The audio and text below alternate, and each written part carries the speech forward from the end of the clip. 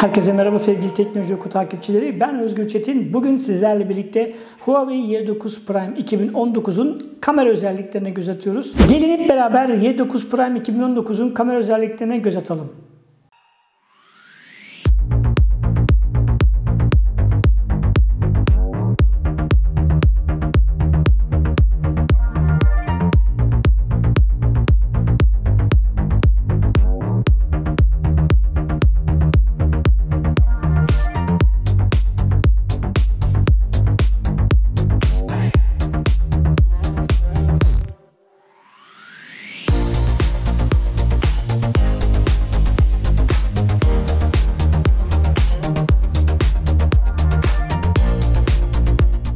Son dönemde özellikle cep telefonlarında pop-up dediğimiz yukarıdan böyle can üst yukarıdan çıkan kameralar moda olmaya başladı.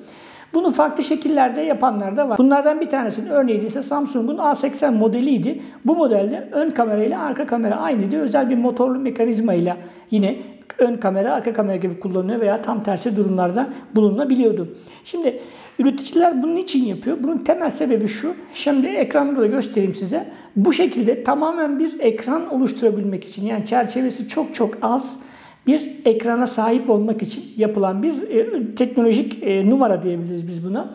Bazı markalar üst tarafa koyuyor, bazıları işte bir motorlu mekanizmayla işte hem öne hem arkaya aynı kamera sisteminden yapıyor. Ama ağırlıklı olarak son dönemde popüler olan e, özellik bu üst tarafta pop-up dediğimiz bir kamera koymak. Y9 Prime 2019'da yine böyle bir model üst tarafta bir özel bir pop-up kamerası yuvası bulunuyor. Kamera bu yuvaya gizlenmiş ve bu e, ön kamerayı açtığınızda otomatik olarak açılıyor. Arka kameraya geçtiğinizde ya da kamera uygulamasını kapattığınızda otomatik olarak da kapandığını söyleyelim. Her zaman olduğu gibi Y9 Prime'ın kamera özelliklerine bakacak olursak karşımıza arka tarafta üçlü, ön tarafta ise tekli bir kamera modülü çıkıyor.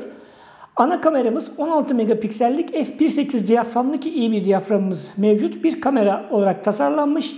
İkinci kameramız ise 8 megapiksellik bir geniş açı imkanı sunuyor. Üçüncü kameramız ise 2 megapiksellik f2.4 diyaframa sahip olan alan derinliği kamerası olarak karşımıza çıkıyor. Ana kameramız Full HD video kayıt yapabilen yani 4K özelliği bulunmuyor ama bu fiyat aralığında zaten genelde pek 4K bulunmuyor ama olanları da var bu arada az olmakla beraber. Olanların olduğunu da söyleyelim. Ön taraftaki bu motorize dediğimiz kameranın çözünürlüğü ise 16 megapiksel ve onun da diyafram açıklığı f2.0. Video tarafında da ön kameranın yine Full HD 30 fps video kayıt özelliği sunduğunu belirtmiş olayım. Gelelim telefonun kamera arayüzüne. Aslında Huawei telefonlarda görmeye alıştığımız standart bir kamera arayüzü bizleri karşılıyor. İlk açtığımızda her zaman olduğu gibi fotoğraf geliyor. Burada iki kamera olduğu için yani bir tane geniş açı kameramız bulunduğu için işte 1x ve geniş dediğimiz e, hem geniş açıyı hem de normal açıyı seçebileceğimiz bir menü olarak çıkıyor karşımıza. Üst taraflara bakacak olursak işte e, yapay zeka destekli olan arama özelliği çıkıyor. Flash'ı açıp kapatabiliyoruz. Otomatik kapalı açık veya sürekli açık yapabiliyoruz. Bunun dışında baktığımızda hareketli görüntü, hareketli fotoğraf diye bir özelliğimiz mevcut ki bu biliyorsunuz daha önceki Huawei modellerine karşımıza çıkıyordu. Yapay zeka yani AI, Artificial Intelligence'ı kapı açıp kapatabiliyoruz. Yine ayarlar bölümüne girdiğimizde ise kamera ilgili ayarları yine karşımıza çıkmış oluyor. Öte yandan çekim modlarında portre modumuz da mevcut ki alan derinliği olduğu için bunu fiziksel kamerayla yapıyor. Yani başkalarındaki gibi hani alan derinliği kamerası olmadığı zaman da bu özellik kullanılabiliyor bazı ürünlerde ama bunlar tabii dijital olarak yapılıyor. Burada bizzat optik olarak yapılan bir alan derinliği düzenlemesi mevcut. Burada çeşitli ışıklandırma seçeneklerini kullanabiliyorsunuz.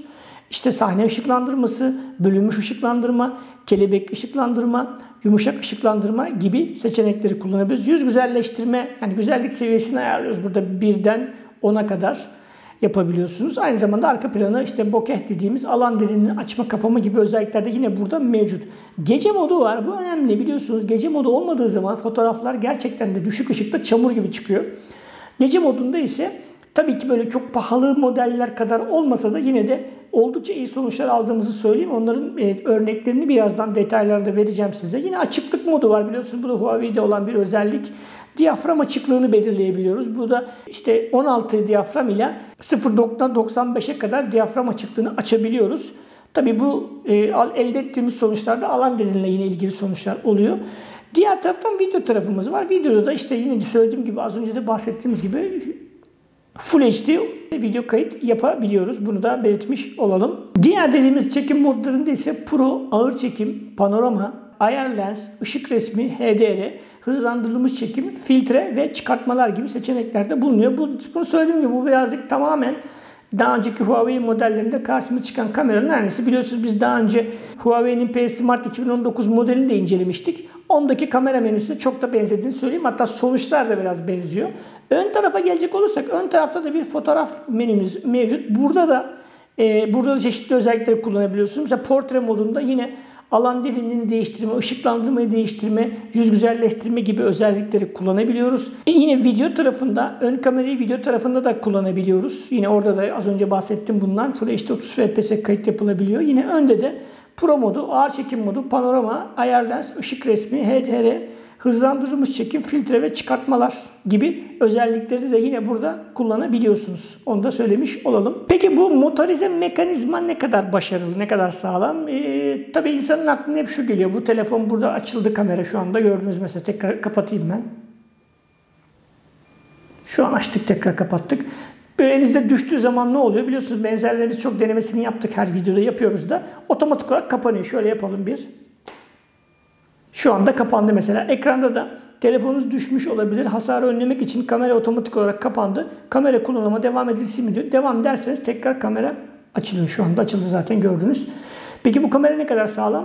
Huawei'nin yaptığı açıklamalara göre 15 kilograma kadar yük kaldırabiliyormuş bu e, ve 100 bin kere de test edildiğini söyleniyor. Yani kamerayı günde diyelim 10 kere açsanız diyelim ön kameradan bahsediyorum. 100 bin kere içinde bayağı bir vakit gerekiyor. Bayağı bir yıllar kullanmanız gerekiyor. Zaten telefonun ömrünün o kadar uzun olacağını düşünmüyorum ben. Ama siz yine de dikkat edin tabii telefonu düşürmemeye veya burasına çarpmamaya, işte zorla kapatmamaya falan çalışmanızı öneririm. Şimdi gelin Huawei Y9 Prime 2019'un ön ve arka kameralarını kullanarak çektiğimiz fotoğraf ve video örneklerini bir sırayla bir izleyelim. Ardından kamera hakkındaki yorumlarımızla videomuzu kapatacağız. Herkese merhaba. Bu videoyu Huawei Y9 Prime 2019'un ön kamerasını kullanarak çekiyorum. Kapalı bir İstanbul öğleden sonrasındayız. Akşam saat 5.30 gibi civarında. Ee, şu anda hafif de bir rüzgar var. Hem mikrofon hem de görüntüyü bu ön kameradan alıyoruz şu anda. İşte Y9 Prime 2019'un ön kamerasının video kabiliyetleri de bu şekilde. Bu videoyu Huawei Y9 Prime 2019'un ana kamerasını kullanarak çekiyorum. 60 fps Full HD video kayıt yapabiliyor maksimum çözünürlükte. E, ve aynı zamanda geniş açı kameraya video çekim sırasında da geçiş, geçiş yapabiliyorsunuz. Bu önemli bir özellik biliyorsunuz bazı modellerde, bazı telefonlarda çekim sırasında kameraları değiştiremiyorsunuz. Yani kayda girdikten sonra değiştiremiyorsunuz. Bu modelde bunu gerçekleştirebiliyorsunuz. Kapalı bir İstanbul öğleden sonrasında hafif de bir rüzgar var. İşte Y9 Prime 2019'un kamerası da bu şekilde.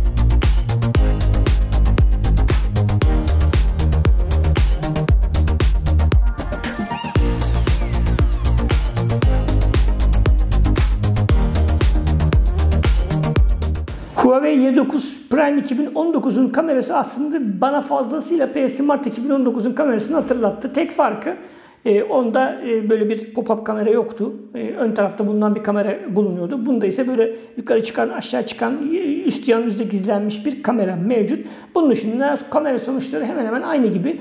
Fiyatı yaklaşık 2300-2400 TL civarında biz bu testi yaptığımız Ekim 2019 e, tarihinden bahsediyorum. Yani Fiyatına göre fena bir kamera değil. Elbette böyle 5 bin liralık, 10 bin liralık bir cep telefonu kamerası beklemeyin ama hani geniş açı olması güzel. E, alan derinliği kamera olması güzel. E, ve aynı zamanda işte ön kameranın böyle gizlenebiliyor olması e, dolaylı yönden de olsa daha büyük bir ekran ve daha sonsuz yani daha çerçevesiz bir ekran tasarlamayı mümkün hale getirdiği için kullanım deneyimi katkı sağlıyor. Bunu da belirtmiş olayım. Ama tabii ki söylediğim gibi çok üst düzey bir kalite vesaire sunmak gibi bir iddiası yok. Belki şöyle bir eleştirim olabilir bu telefonla ilgili. Yani alan derinliği kamerası yerine telefoto falan konsaydı daha iyi olabilirdi. Neden? Çünkü alan derinliği bir şekilde dijital olarak da verilebiliyor ama işte telefoto dediğimiz yani optik zoom 2x'te olsa ciddi anlamda fayda sağlayabiliyor. Ama Huawei burada böyle bir şey yapmamış. Sebebini bilemiyoruz tabii neden yapmadığını. Evet kamerası nasıl serisi videolarının birinin daha sonuna geldik. Ee, bu seriyi merak ediyorsanız şimdi yukarıdan ben bir link koyacağım size. Bu seride yaptığımız, daha önceki yaptığımız çekimleri, daha önceki örnek fotoğrafları, örnek videoları da yine oradaki e, video listesinden de görebilirsiniz. Aynı zamanda bu e, inceleme videosunda kullandığımız ve çektiğimiz fotoğrafların daha yüksek çözünürlüklü hallerini biz yine teknoloji oku adresine yükleyeceğimizi söyleyelim. Onu da açıklama kısmında sizlerle birlikte paylaşacağım. Daha fazla detay görmek isterse çünkü biz burada bir 6-7 hadi çok, çok zorlayın 10 tane fotoğraf kullanabiliyoruz. Ama orada 20-25'e yakın fotoğraf örneklerini e, sizle paylaşıyoruz. Oradan da görür. En azından siz de daha yüksek çözünürlükler üzerinden kendiniz karar verebilirsiniz. Huawei Y9 Prime 2019'un kamerası ile ilgili merak ettiğiniz soruları bu videonun altında bizlerle paylaşın. Biz de elimizden geldiğince sizlere yanıtlarımızla beraber yardımcı olmaya çalışalım. YouTube kanalımıza abone olmayı ve bizleri aynı zamanda Instagram, Facebook ve Twitter gibi sosyal ağlarda takip etmeyi unutmayın. Farklı bir videoda, farklı bir içerikte karşınızda olmak üzere. Hoşçakalın.